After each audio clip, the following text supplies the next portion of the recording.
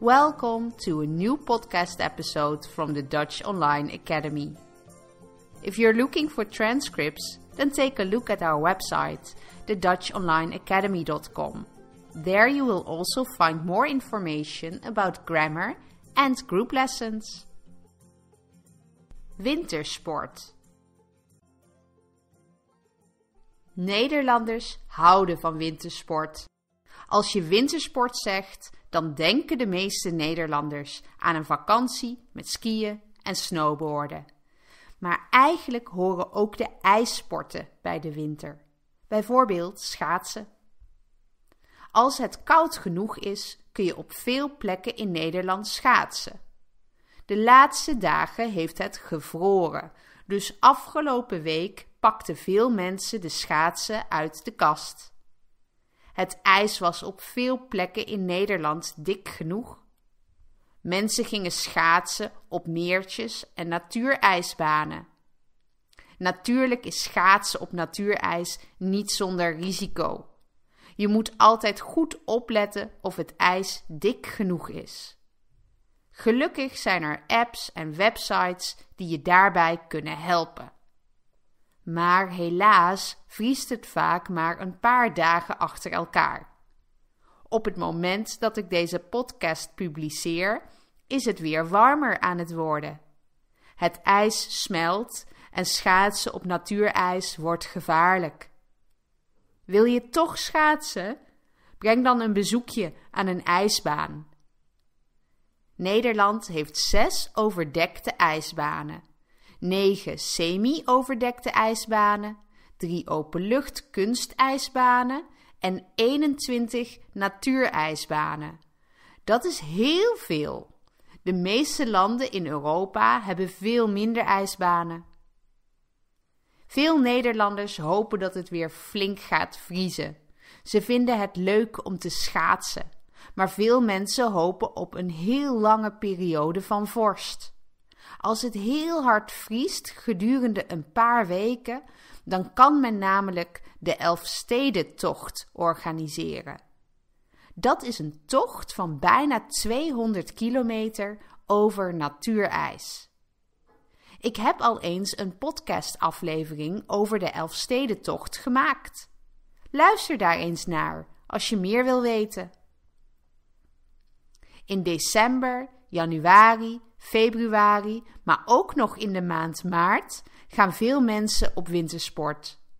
In Nederland zijn er geen bergen, dus als je wil skiën of snowboarden, moet je naar het buitenland. Vooral de landen rond de Alpen zijn populair. Bijvoorbeeld Oostenrijk, Frankrijk, Italië, Duitsland en Zwitserland. Maar ook Tsjechië en Noorwegen zijn in trek. Tijdens een wintersportvakantie gaan de meeste mensen skiën en snowboarden. Maar je kunt ook andere sporten doen, zoals sleeën en langlaufen. Je hebt verschillende soorten skipistes. En meestal gebruiken ze kleuren om aan te geven hoe moeilijk een piste is. Een groene piste is niet zo moeilijk en gemaakt voor echte beginners. Een blauwe piste is ook relatief makkelijk. Een rode piste is voor gevorderden. En de zwarte piste is een echte uitdaging. Vaak gaan mensen niet alleen op wintersport om te sporten. Veel mensen houden ook van een hapje en een drankje na een dagje skiën of snowboarden. Ze gaan après skiën. Dat betekent na het skiën in het Frans. Er wordt gedanst en gefeest in de vele kroegen in het skigebied. Helaas voor wintersportliefhebbers ligt er niet altijd genoeg sneeuw in de wintersportgebieden om lekker te kunnen skiën. Volgens wetenschappers zorgt klimaatverandering voor minder sneeuw.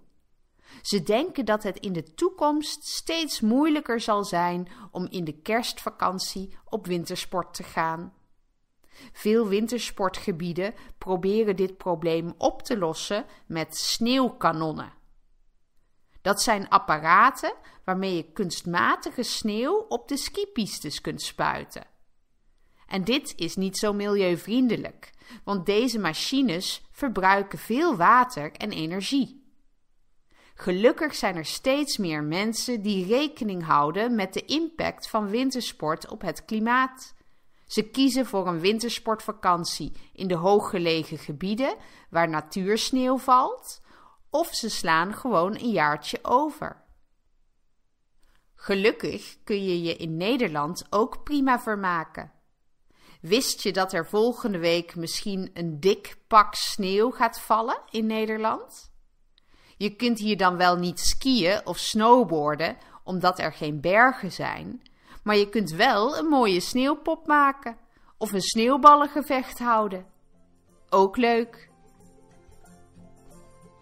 Thank you for listening to the Dutch Online Academy. Don't forget to subscribe to this channel if you would like to stay up to date.